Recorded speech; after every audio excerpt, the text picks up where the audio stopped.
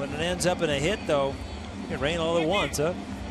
Danny, go back in your little cave down there.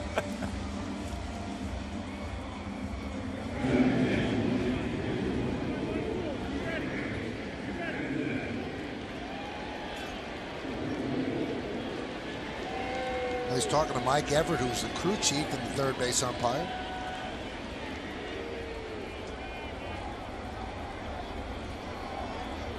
There's Gary Sanchez. Last couple of innings, he put together a nice little resume tape. And now they're going to put the tarp on the field.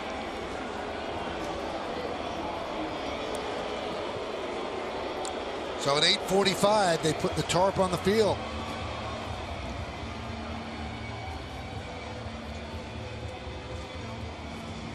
And the Yankees leading 3-2 with a runner on first base.